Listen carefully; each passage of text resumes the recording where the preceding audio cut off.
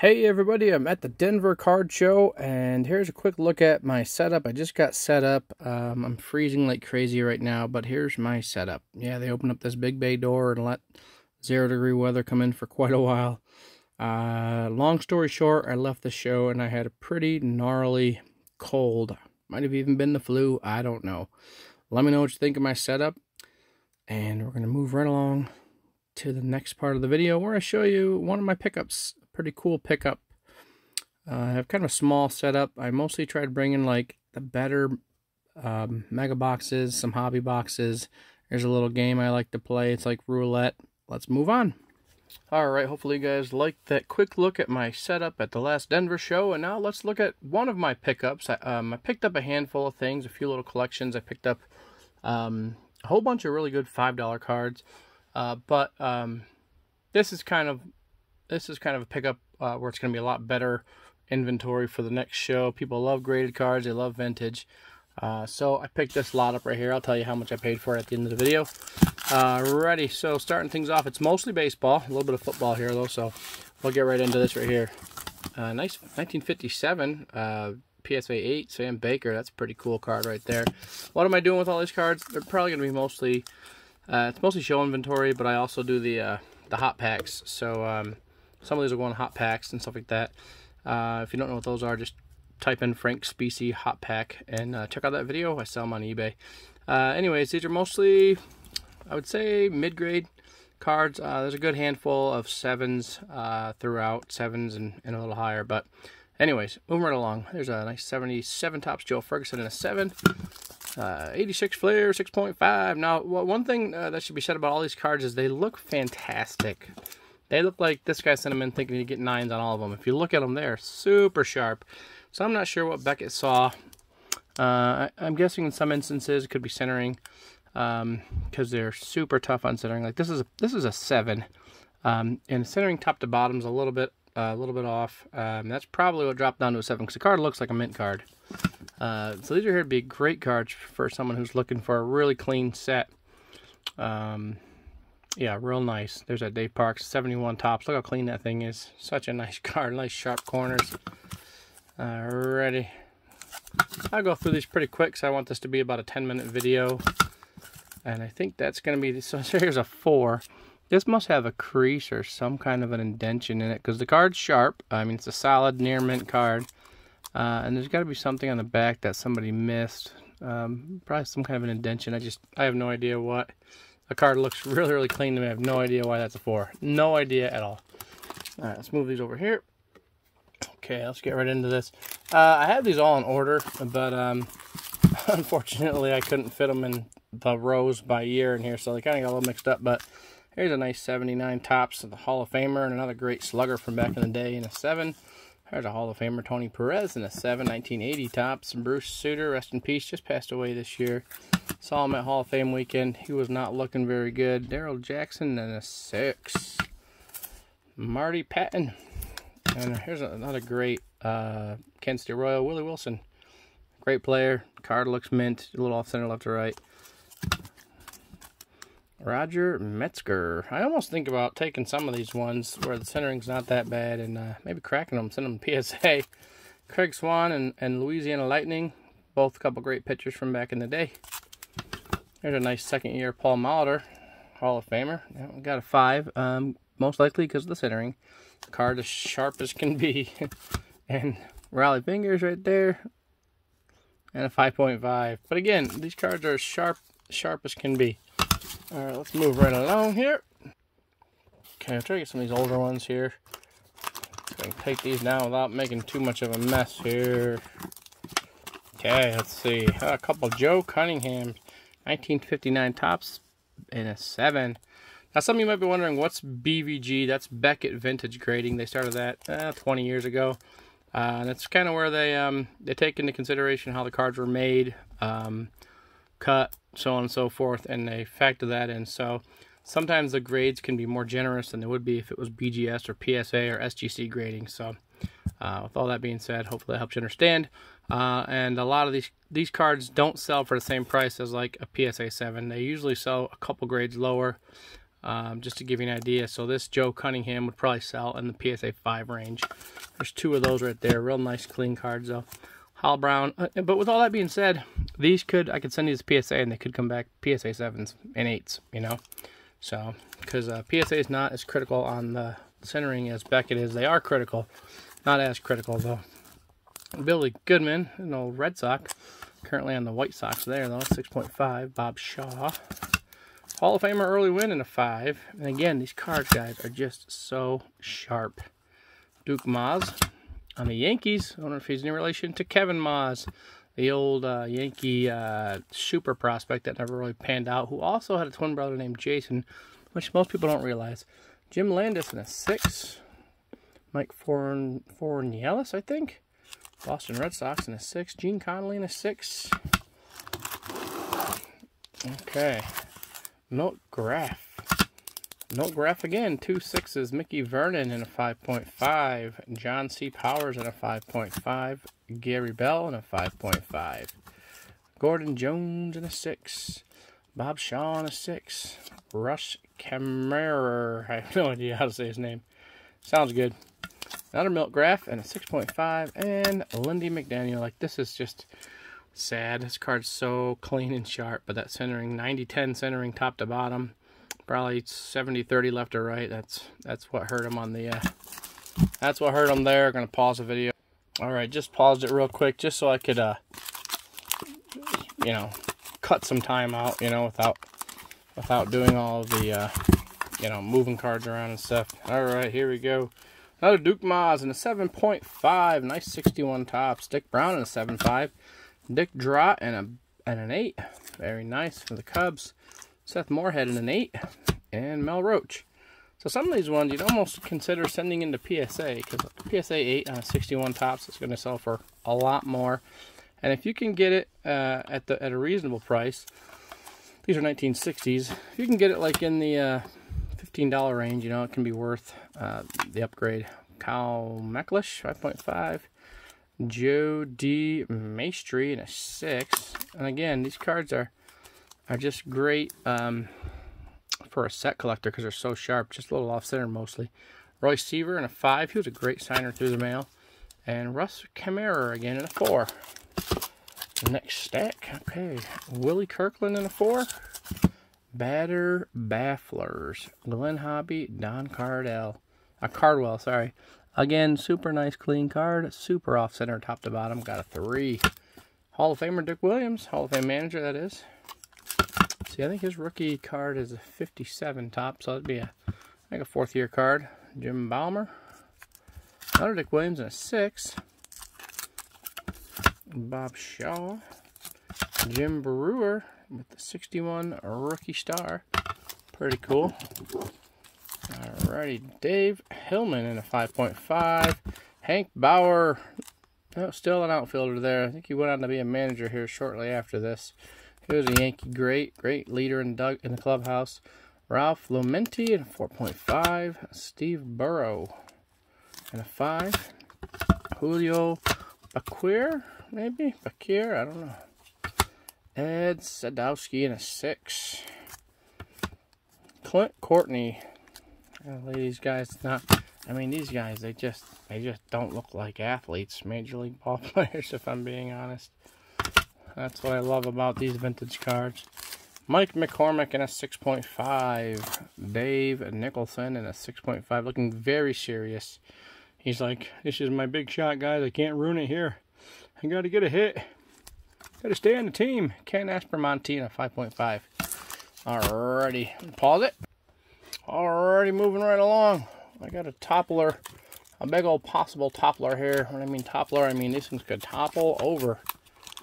Okay, let's just kind of do this. There we go. Okay, now we get to some 71s. Eddie Leon in a 7. Les Kane. I love looking at 71s that are super clean. I love having that nice black border all the way around. These cards are notoriously ugly uh, from poor cardstock, poor handling, and just every flaw shows. Ed Spiezio. I wonder if he's related to Scott Spiezio, former Hall, uh, former Major Leaguer. Roy Foster. Ron Perranoski.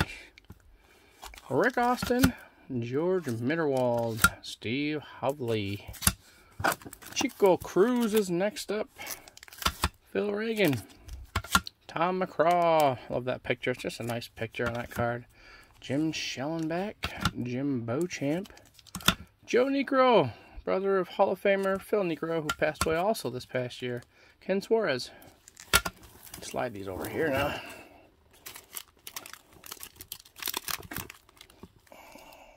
Okay. Bob Tillman. Steve Keeley. Jim Holt. Vic Davalio, I think. Bob Berta.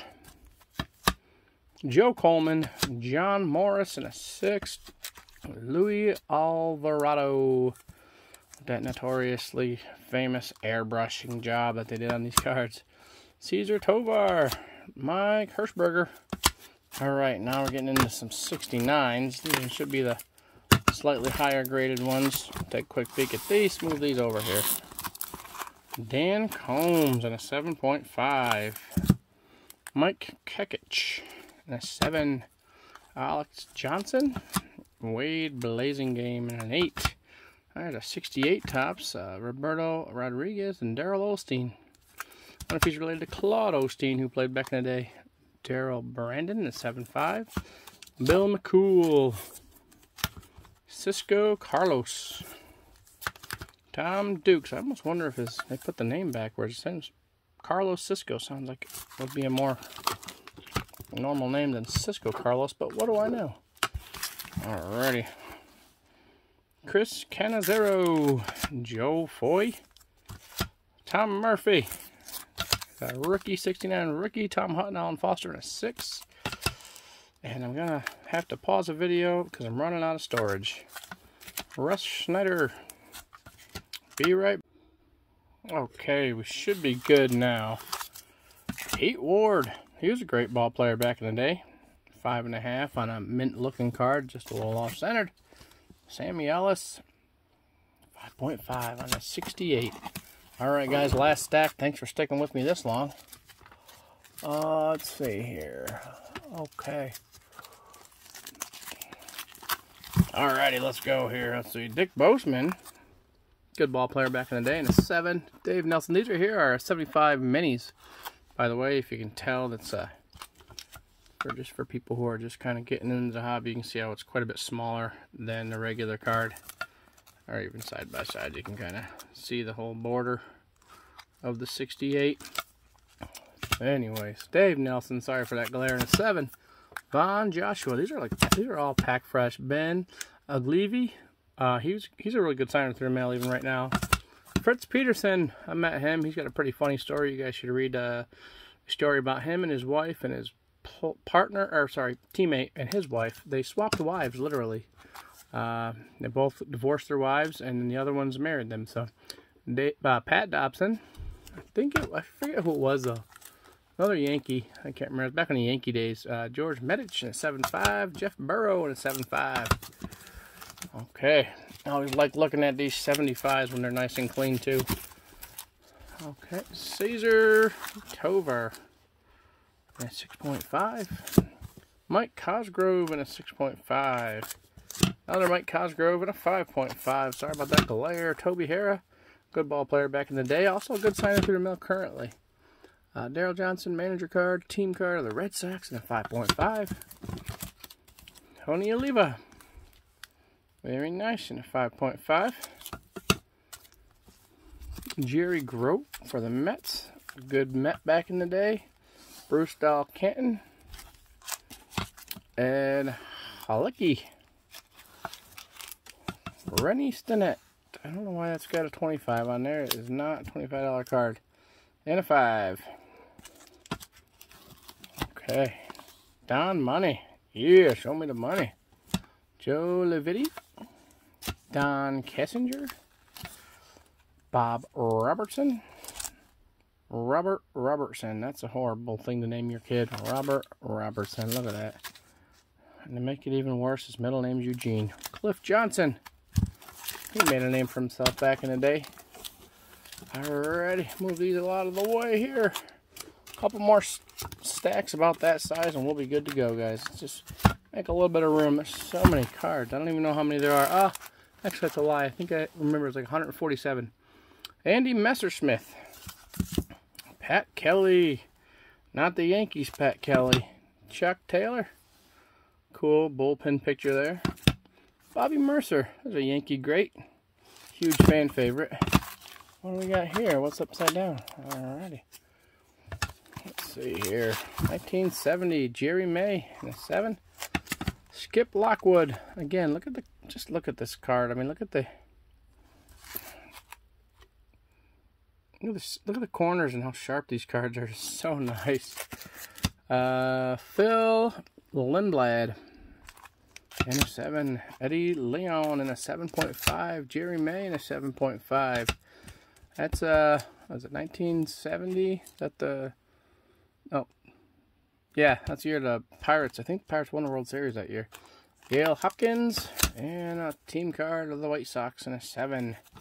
Those are usually pretty off-center, those old team cards there. Alright, last stack, guys, and we'll let you get the heck out of here if you're still with me. Uh, Elrod Hendricks in a 5.5. Jose Pena, old Dodger pitcher.